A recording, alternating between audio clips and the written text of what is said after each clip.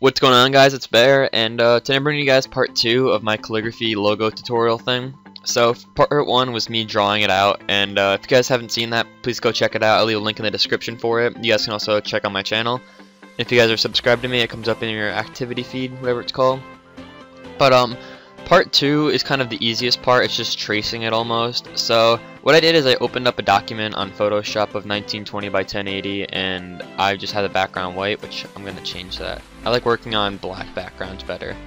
And for the logo, I just took a picture with my phone and then I sent it to my old Facebook so I can just like pick it up and copy it. But um, you guys can pretty much just scan it. That's probably another easy way is just scanning. Other than that, you can just take a picture and send it to you. But make sure when you take a picture, it's like on the top of it, it's like an overview. Because if it's like sideways, then it's gonna be a little bitch to copy and stuff. So just have that. So I'm gonna do is just copy this, and then just paste it into my document, and then I can just make it a little bigger like that. Excuse me. I'm gonna be coughing a lot. So pretty much once you have this, you're just gonna make a new layer, and then you can start to just develop it. What I'm gonna do is take my brush, and I'm gonna put it to about Let's get a size going. Maybe a little bit bigger than 10. like 13, maybe 15. And put the hardness to 0. And then you're just going to take your pen tool. And then you're pretty much just going to take rulers and just line it up with the top part. And we're all going to do the straight lines first. So.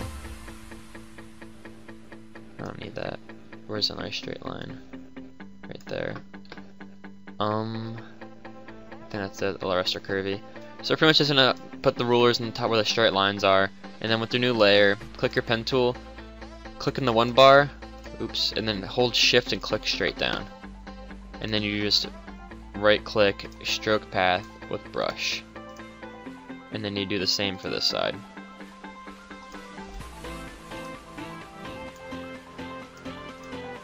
And then this one.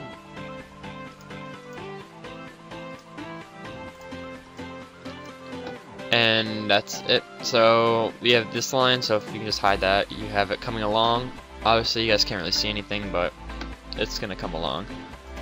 So the next thing we're gonna do is just make a new layer and we're gonna zoom out a little bit and we're gonna go with the curve side but we're gonna go bottom to top because going top to bottom is kind of hard. So I'm just gonna click here and then click there and just trying to like actually no. We'll click we'll do this. This is easier for you guys. Take this and put a ruler in the middle of these lines, I can just take that and throw it put it up here I guess. So you have like the, the curve, you just click here and go like that and then click there and then right click and stroke path black though, make sure it's always white and then you can just Control J that to duplicate it, transform, flip horizontally, and then you can kind of drag this one out. and then we're going to zoom in and just connect these. So you put one here, make a new layer.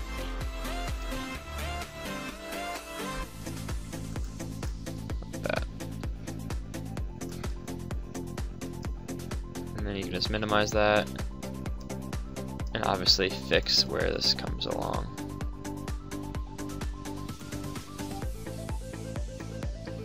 So you just take a, pretty much an eraser, not too big, not too small, and then just erase like the curving, the curvingness of it. So you have that, you can just bring that back up. So now we're just gonna go to the straight line. So take our rulers back using Control H. If you guys don't have rulers, Control H to bring them up, Control R to get the lines going. So I'm going to take this and put my one line here and my next one right there. So if you guys are watching this, it's pretty much all rulers and you're always going to use your brush. Um, you guys can use other stuff, but I recommend using brushes because I think it's easier to do. So pretty much just going to be tracing this, so...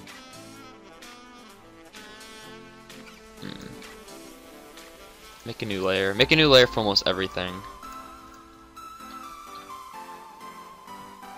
Because some of it's a really big of a pain in the ass to do.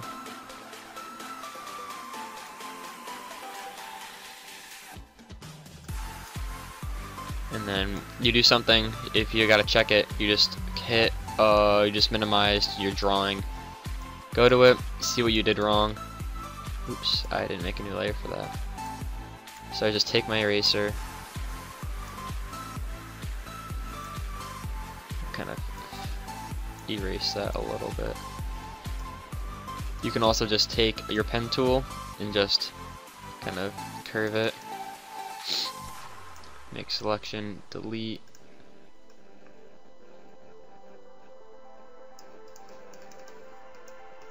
Make selection and then delete it again. So, you have that. so now that you have that, you can start with the bottom. So you can just bring this back up, create a new layer, click here, and then just bring that out. Right click, stroke path, make a new layer, click right here, click the same spot,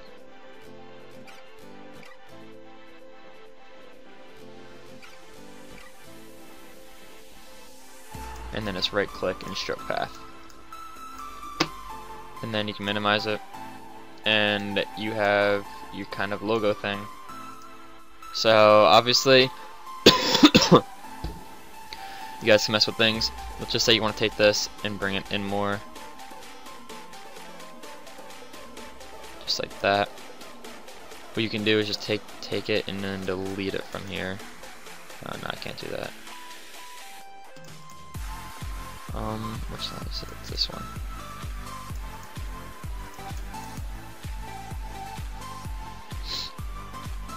So, you can just go in, let's just say you want these two kind of like fading in, you just take your eraser. Just kind of fade that in.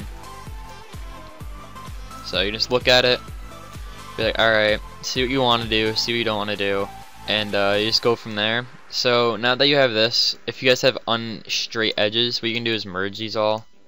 So you just have your logo, and you're to hit control and then click, uh, like hold control and click in here, and then go to your dotted rectangle, right click, make work path, and then it's to create a path, then you're just to make a new layer, use your pen tool, and fill path with the foreground color, which mine's white, I don't know what yours is, and then you can minimize this, and it just straightens all the lines out that you screwed up on, but I don't like doing that. So you just have this, and you guys can just take out the curved edges, I guess. You can just take them and delete them if you want. So, that's all your preference and what you want to do. But, um, that's about it. It's probably the easiest thing to do.